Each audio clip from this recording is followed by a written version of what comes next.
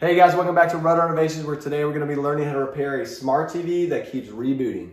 Here we go.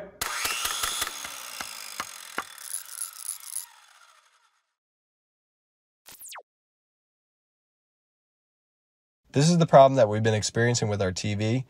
We would turn it on, it would come up to the splash screen, show the smart apps and recent input on the bottom of the screen, and then it would just power cycle and start the process over again.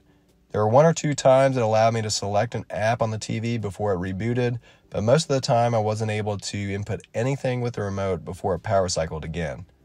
This started happening after a thunderstorm, so I'm sure it was because of a power surge.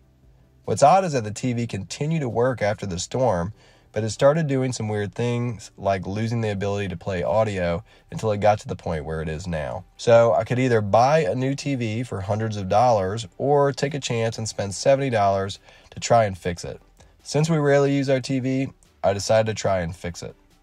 You can start by removing your TV from its stand or mount and laying it down on a flat, soft surface. I laid ours on a thick blanket on top of our table, but you could use any soft, flat surface such as a rug or carpet. Then you'll start the disassembly process by unscrewing the back of the TV. Not including the screws for the mounts, this 55 inch Samsung has four screws on each side, three on the top, nine on the bottom, and one located by the power plug and another by the Ethernet port. Luckily, all the screws were the same size, but if your screws are different sizes, you'll want to lay them out in order so you know which screw went where. Once all the screws are removed, the back cover should just lift off, but if yours has little clips that lock it in, you can wedge a plastic putty knife along the edge of the back cover where it meets up with the TV and it should pop right off. TVs are pretty simple devices and aren't comprised of too many parts. The brown board is the power supply, the board with the audio video ports is the smart board, and the tiny board on the bottom is called the T-Con board, which controls the smart applications on the TV. I started by troubleshooting the power board to make sure it was giving the right voltage to the smart board. Right next to the cable that goes to the smart board, there's a little diagram on the power board that shows the correct voltages that should be going to the smart board. Four of the connections should be around 13 volts, and the last connection is a ground. I unplugged the cable going to the smart board, powered up the TV, kept my black multimeter lead on the ground, and checked each one of the four connections, being careful not to touch two pins at the same time. All the pins registered around 13 volts, and with the smartboard unplugged, the TV actually stopped rebooting and the backlight remained lit, which told me the backlight was functioning properly and the power board was putting out the correct voltage. After doing this test, I felt certain the smartboard or T-Con board was the one that was defective. I unplugged the T-Con board and powered on the TV to see if any of the symptoms would change and the TV wouldn't even come on. After doing all these tests and remembering that the first sign of our TV having a problem was a loss of audio, I took a hunch and ordered the smart board because the speakers plug directly into that board. So that's the one we're going to swap out. I ordered the board from tvpartstoday.com, but there's other websites such as shopjimmy.com, eBay, and your manufacturer's website that you can get these boards from.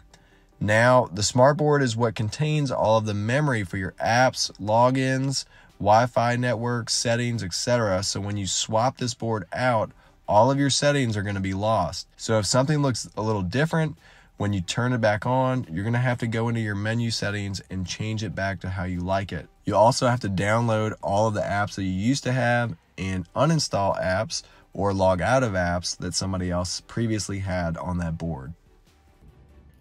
All right, we're gonna plug it back in. We'll see if the new board fixed it. It didn't automatically come on like it has every other time. So I'll use the remote, see if I can turn it on. So that's one difference. It does come on, does say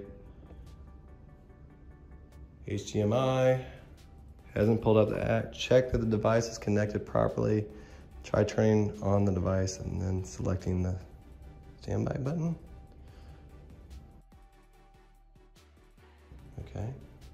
Oh, I guess that's just because there's no, no source to it. So we'll see if we can play something. All right, so we're gonna go ahead and check. Just, just put on Smart TV. We'll select an app and see if we can actually connect. All right, looks like it's working now.